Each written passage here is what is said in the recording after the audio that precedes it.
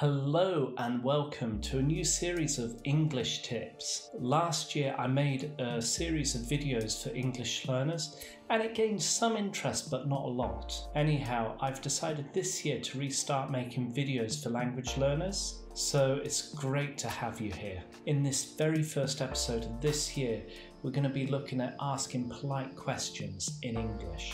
If you ask questions directly, you may appear to be a bit rude and inconsiderate. So it's so important to try and ask questions correctly. So I hope this video helps you sound more natural and more polite when speaking English. There are some basic phrases which could help you when you ask questions politely. These could include Do you know where? Could you tell me what? I don't know who? Or do you have any idea when? All you have to do is change the question word in this form. So for example, if you have a direct question as what time is it, you could ask do you know what time it is? If you ask who are those people, you could say I don't know who those people are. You could also ask where can I find Susan? And you could change this to could you tell me where Susan is? The question how much will it cost? You can change this to do you have any idea how much it will cost? Now the important thing here to notice is that the auxiliary verb and the subject switch over when using these phrases.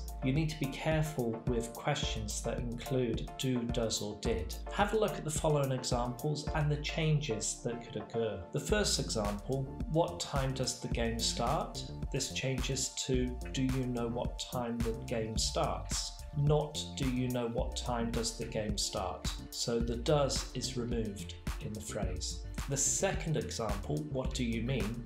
This changes to could you tell me what you mean?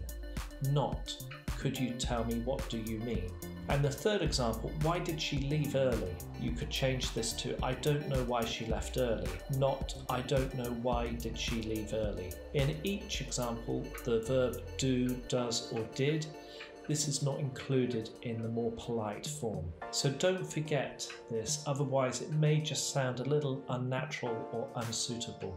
Finally, we use if or whether when there's no question word, such as what, when, where, etc. If you have a question of is it, do you, did you, you could use this phrase do you know if or do you know whether. So, for example, did anybody follow you? You could change this to do you know if anybody followed you? Or do you know whether anybody followed you? It is that simple when you're creating polite question forms in English. I'm going to give you a few sentences to practice and um, I'm going to show you some basic direct questions and I want you to change the questions into more polite forms. You could write your answers in the comments below and feel free to pause the video whilst I show each individual direct question.